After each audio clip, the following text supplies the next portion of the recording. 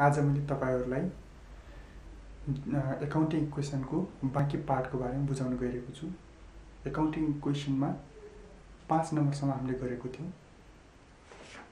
आज छ नम्बरदेखि जस्तै छ नम्बरमा छ अल एक्सपेन्सेस लसेस पेड गरेको छ भने यसमा कस्तो इफेक्ट पर्छ त? अब एक्सपेन्सेस अथवा लसेस पे गरिन्छ भने यहाँनिर बुझ्नुपर्ने कुरा जस्तै हाम्रो यो बिजनेस छ हो?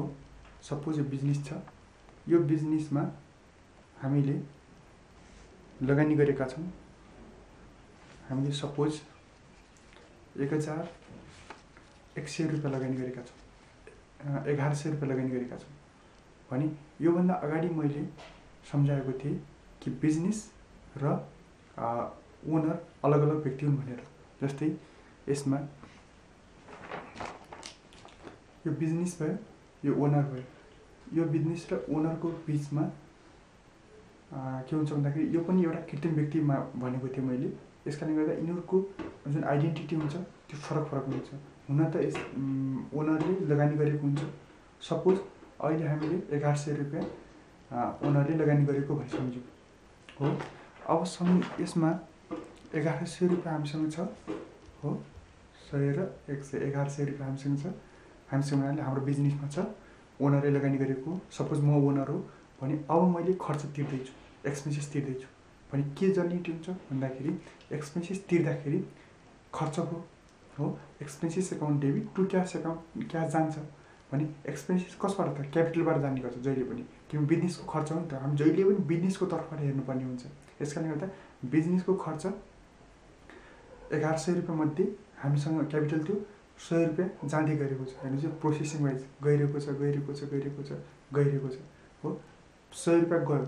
अब हामीसँग कति रह्यो त यहाँनिर? र एक हजार रुपियाँ मात्रै। पहिला कति थियो क्यापिटल? एघार सय रुपियाँ थियो। अब एक हजार रुपियाँ खर्च पेड गरियो भने खर्च क्यास गयो क्यापिटल पनि घट्यो। एघार सयबाट अब हजार रुपियाँ गयो। पहिला एघार सय थियो अब हजार गयो। सय रुपियाँ हामीले एक्सपेन्सेस पे गऱ्यौँ। भने यतातिर एकातिर क्यापिटल घट्यो। अर्कोतिर क्यास गयो। भने अब यसलाई जर्निटी हेर् यसमा एकाउन्टिङ क्वेसन हेर्दाखेरि एक्सपेन्सेस लसेस पे गर्दाखेरि क्यास घट्यो जस्तै एघार सय थियो हजार रुपियाँ आयो। त्यस्तै एक्सपेन्सेस पे गरियो। क्यापिटल पनि घट्यो। एघार सय रुपियाँ थियो हजारमा आयो। यतातिर के सय रुपियाँ क्यास पे गरियो। हो। त्यस्तै अर्को छ। All income or gain receive receive गरियो भने क्यास आउँछ इन्कम बढ्ने गर्छ। इन्कम केमा बढ्छ त क्यापिटलमा बढ्ने गर्छ। यस कारणले गर्दा अब फेरि उदाहरणको लागि हामीसँग क्यापिटल अब कति छ त? एक हजार एघार एक हजार रुपियाँ छ। पहिला एघार सय रुपियाँ थियो अब एक हजार छ। भने अब एक हजारमध्ये अचानक हामीलाई कुनै इन्कम भयो। भने इन्कम त आउँछ। हजार रुपियाँ क्यापिटल छ हाम्रो बिजनेसमा। भने सपोज पचास रुपियाँ हाम्रो इन्कम भयो। इन्कम आइरहेको छ आइरहेको छ आइरहेको छ। आयो हेर्नुहोस् हामी हाम्रो क्यापिटलमा आयो जोडियो। हाम्रो कवि कति भयो त? एक हजार पचास रुपियाँ भयो। हो? बिजनेसमा एक हजार पचास रुपियाँ भयो। भने यो पचास रुपियाँ के हो त? क्यास आयो क्यास बढ्यो हो? क्यास बढ्यो यसको क्यापिटल पनि बढ्यो। कतिले त पचास रुपियाँले बढ्यो। यसलाई बुझ्नको लागि यसमा क्यास पनि प्लस भयो र त्यस्तै इन्कम पनि इन्कमले पनि क्यापिटललाई बढायो। हजार रुपियाँ थियो हामीसँग एक हजार रुपियाँ एक हजार पचास भयो। पचास रुपियाँ क्यास बढ्यो। बोथ साइडमा इफेक्ट पर्ने गयो त्यस्तै लेबिलिटीमा कुनै इफेक्ट परेन। त्यस्तै अर्को छ हाम्रो withdraw cash for personal use अथवा प्राइभेट युज अथवा डोमेस्टिक युज यिन तिनवटै वर्डहरू भनेको सेम नै हो। हो त्यसको लागि हामीले क्यास विड्र गऱ्यौँ बिजनेसबाट पैसा झिक्यौँ। भने त्यस्तो कन्डिसनमा के हुन्छ त? क्यास झिक्यौँ भने क्यास के हुन्छ? बिजनेसको तर्फबाट हेर्दाखेरि क्यास गयो।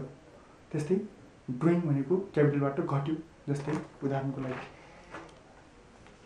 हाम्रो यो बिजनेस छ। बिजनेसमा अब छ हामीसँग कति छ त? भन्दा ए एक हजार पचास छ। इन्कम आइसके पछाडि एक हजार पचास। हुन्छ एघार एघार सय रुपियाँ थियो पहिला। एघार सयमध्ये खर्च एक सय रुपियाँ दिइयो। खर्च सय दिइसके पछाडि बच्यो कति त एक हजार रुपियाँ फेरि इन्कम भयो पचास रुपियाँ।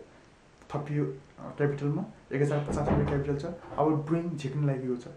झिकिन लाग्दाखेरि सपोज मैले एक हजार रुपियाँ झिक्थेँ ड्रइङको रूपमा गइरहेको छ गइरहेको छ गइरहेको छ गइरहेको छ। एक हजार रुपियाँ ड्रइङ भयो झिक्यो भने अब अब यो यो अवस्थामा कति त पचास रुपियाँ मात्रै बच्यो हाम्रो क्यापिटल। हजार रुपियाँ त गयो। के को लागि गयो त? ड्रइङको लागि। क्यास पनि हाम्रो क्यापिटलबाट बिजनेसबाट घट्यो हो? अनि क्यापिटल पनि घट्यो। क्यापिटल पहिला हजार एक हजार पचास थियो अब पचास रुपियाँ बच्यो। क्यापिटल घट्यो क्यास पनि घट्यो। यसमा हेरौँ। क्यास पनि घट्यो क्यापिटल पनि घट्यो। ड्रइङ नाम मात्रै ड्रइङको तर क्यापिटल पनि घटेको। ल्याबिलिटीमा कुनै इफेक्ट परेन। त्यस्तै अर्को छ इन्ट्रेस्ट अन क्यापिटल भनेर भनेको छ। हो? अब इन्ट्रेस्ट अन क्यापिटल भनेर भन्छ क्यापिटलको इन्ट्रेस्ट हो। हामीले इन्ट्रेस्ट रिसिभ गरेको छौँ। इन्ट्रेस्ट हामीले रिसिभ गरेको छौँ। अब फेरि मैले यसलाई भन्न चाहन्छु। बिजनेस अलग कुरा हो। ओनर्स अलग कुरा। सेपरेट आइडेन्टिटी हुन्छ यिनीहरूको बिचमा। यो पनि कृत्रिम सर मानिन्छ। यस कारणले गर्दा बिजनेसको तर्फबाट हामी हेर्नुपर्ने हुन्छ भने पहिला ओनरले बिजनेसमा पैसा लगानी गर्छ अनि त्यसपछि बिजनेसमा लगानी गरिसकेपछि इन्भेस्ट गरिसकेपछि इन्भेस्टबाट इन्ट्रेस्ट आउने गर्छ कसलाई त ओनरलाई तर इन्ट्रेस्ट अन क्यापिटल क्यापिटलमा इन्ट्रेस्ट दिनु भनेको बिजनेसको लागि खर्च हो। हो कि खर्च हो? यस गर्दा खर्च भइसके पछाडि यसको क्यापिटल घट्ने गर्छ। इन्ट्रेस्ट दिँदाखेरि क्यापिटल घट्ने गर्छ। त्यस्तै क्यापिटल घट्ने गर्छ यतातिर अर्कोतिर के हुन्छ त उसको लागि जस्तै बिजनेसको लागि खर्च हो तर क्यापिटल घट्ने हुँदा क्यापिटल बढ्ने गर्छ। उनीहरूको क्यापिटल बढ्ने गर्छ जस्तै यसमा हेर्दाखेरि।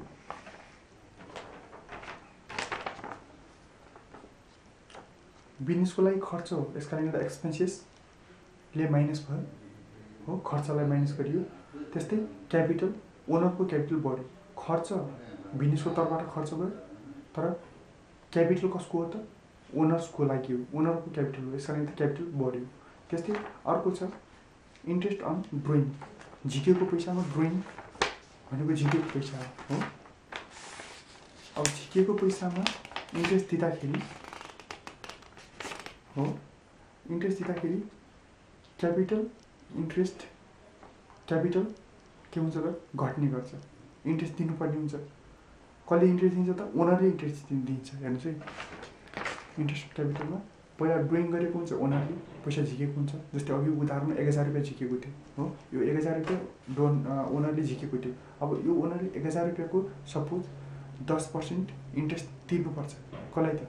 बिजनेसलाई तिर्नुपर्छ। दस पर्सेन्ट भनेको सय रुपियाँ। एक हजारको दस पर्सेन्ट कति हुन्छ त? सय रुपियाँ हुन्छ। सय रुपियाँ इन्ट्रेस्ट तिर्नुपर्छ यसले। भने तिर्दाखेरि के हुन्छ त? यसको क्यापिटलबाट यसले पैसा नदिएर यसको क्यापिटलबाट पनि त घट्न सक्छ नि। यसको क्यापिटलबाट ओनर्सको क्यापिटलबाट घट्यो पैसा हो एकातिर घट्यो भने अर्कोतिर के हुन्छ त? भन्दाखेरि इन्कम हो इन्ट्रेस्ट इन्कम हो इन्कम बढ्यो।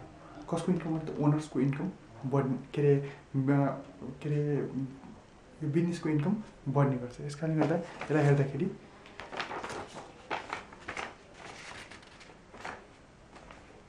क्यापिटल इन्ट्रेस्ट कम भयो हो? क्यापिटललाई घटाइयो। किन भन्दाखेरि ओनर्सले पैसा बिजनेसलाई दिनुपर्ने हुन्छ। इन्ट्रेस्ट इन्कम हो। कसको इन्कम हो त? बिजनेसको लागि इन्कम हो। इन्कम बढ्यो। इन्कम बिजनेसको इन्कम बढ्यो ओनर्सको क्यापिटलबाट इन् इन्कम दिँदाखेरि घट्यो। सिधा पैसा नदिएर इन्डाइरेक्ट रूपमा घटाइन्छ। यो कुरा हो।